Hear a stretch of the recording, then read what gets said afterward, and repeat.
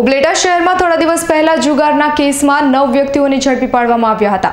આ કેસ ખોટી રીતે કરવામાં આવ્યો હોવાને લઈને ઉપલેટા પીઆઈ કેજે રાણા તેમજ જમાદાર સહિત સાત પોલીસ કર્મીઓ સામે ઉપલેટા કોર્ટમાં ફરિયાદ દાખલ કરાઈ છે. રાજકોટ જિલ્લાના ઉપલેટા શહેરમાં થોડા દિવસ પહેલા એક તબેલામાંથી નવ વ્યક્તિઓને જુગારના કેસમાં ઝડપવામાં આવ્યા હતા.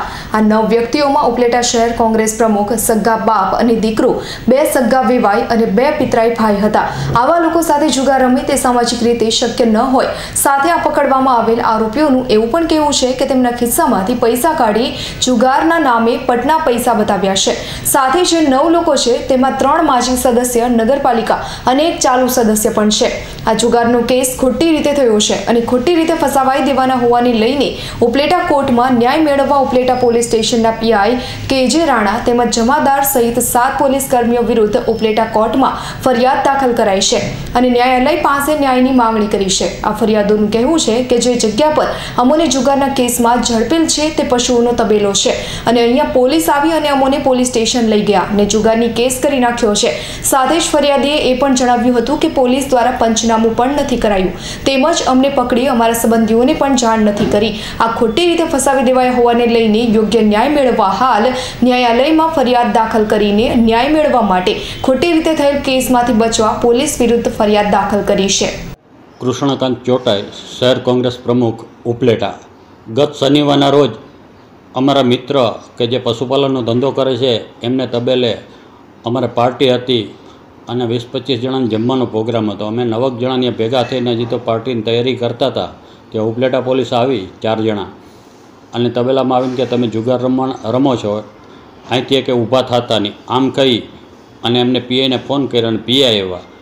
અને કે આ જુગાર રમે છે અને પકડવાના છે. એટલે અમે પીએને કીધું, અમે જુગાર નથી રમતા, અમે અહીંયા પાર્ટી કરવા ભેગા થયા છે અને જમવાનો પ્રોગ્રામ છે. તો પણ અમારી કોઈ વાત માન્યા નહીં.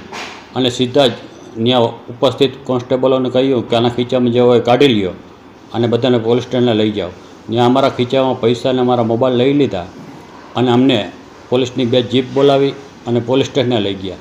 જો અમે જુગાર રમતા હોય તો સ્થળ ઉપર પંચનામું થવું જોઈએ. સ્થળ ઉપર ક્યાંય પંચનામું કર્યું નથી. સ્થળ ઉપર પંચને બોલાવ્યા નથી કે અમારી ધરપકડ કરતાં પહેલાં અમારા સંબંધીઓને જાણ કરવાની અમને કોઈ જાતની અમારા સંબંધીઓને જાણ ન કરી. સીધા જ પોલીસ સ્ટેશને લઈ જઈ અને પોલીસ સ્ટેશને અમને એમ કીધું કે તમને જુગાર ધારામાં તમારી અટકાયત કરવામાં આવે છે. આ અટકાયત બાદ ચોવીસ ચોવીસ કલાક અમને લોકઅપમાં રાખી મૂક્યા. ખરેખર જો જુગાર ધારા ધરપકડ કરવી હોય તો પણ જે ગુનામાં સાત વર્ષથી ઓછી સજા હોય, એને તાત્કાલિક જામીન આપી દેવાની સુપ્રીમ કોર્ટની ગાઈડલાઇન છે. આ ગાઈડલાઇનનું પણ પોલીસે માન ઉલ્લંઘન કર્યું અને અમને પકડી રાખ્યા. બીજે દિવસે આઠ વાગે અમને છોડ્યા પછી પણ અમારી સામે ગેરકાયદેસર એકસો દસની કલમ નીચે બીજી વખત ચોવીસ કલાક પકડી રાખ્યા. એકસો દસની પ્રક્રિયા પણ એમને ગેરકાયદેસર કરી છે. અને સૌથી મહત્ત્વની વાત કે અમે જે જુગાર રમતા પકડ્યા છે, એમાં બે તો સગા બાપ દીકરો છે, મયુરભાઈ અને જેસાભાઈ. એ સિવાય પિંડારિયાભાઈ અને ભાયાભાઈ વસરા બે સગા વેવાઈઓ છે. નારણભાઈ અને બીજા ભાઈ બે પિતરાઈ ભાઈઓ છે. આ સામાજિક રીતે કોઈ પણ રીતે શક્ય નથી કે બાપ દીકરો કે બે સગા વેવાઈઓ કે બે પિતરાઈ ભાઈઓ ભેગા બેને જુગાર રમે. એટલે જુગારની રેડ ખોટી છે.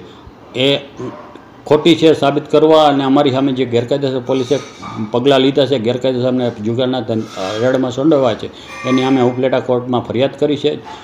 આઈપીસીની જુદી જુદી સત્તર કલમો નીચે એમ ફરિયાદ કરી છે અને ન્યાય, ન્યાયાલયમાંથી અમને ન્યાય મળશે અને જે અમારી સામે ખોટું કર્યું છે એની સામે પગલાં લેવામાં આવશે એવી અમને આશા છે. જયેશ મારડિયા સાથે વિપુલ ધામેચાનો રિપોર્ટ ઉપલેટા.